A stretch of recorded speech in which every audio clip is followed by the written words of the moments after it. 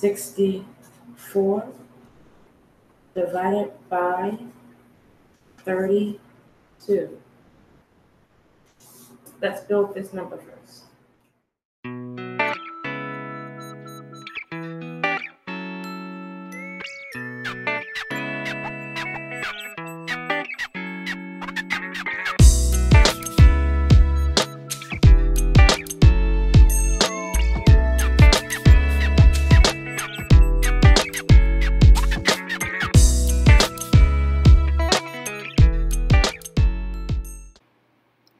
We are dividing by 32.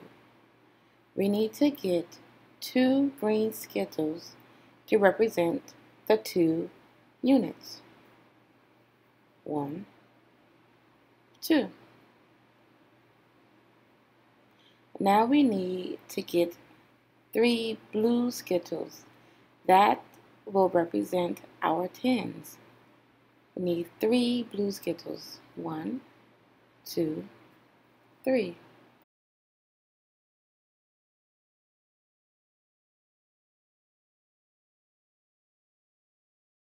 Let's start with our largest category, our thousands. Let's take these and we're going to divide them amongst the skittles. I am not able to give the units 1000s because they are not the same as 110s. They are one category below. I need to take 1000 and exchange it for 10 100s.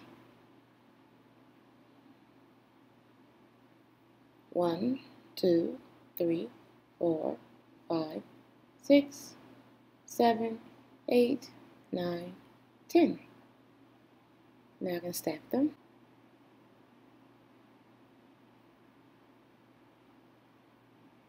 Each unit skittle gets 100. And now that is fair because one unit is one category below 110. Now we do the same thing for the rest of the stamps.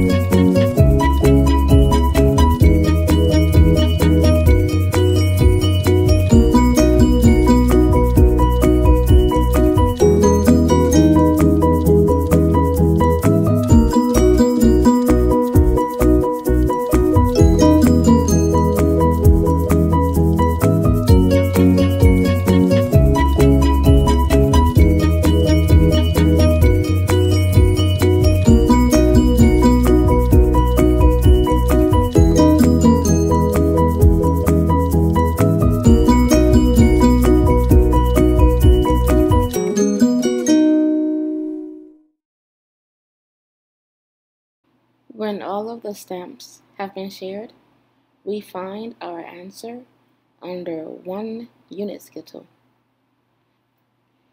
8,064 divided by 32 equals 252.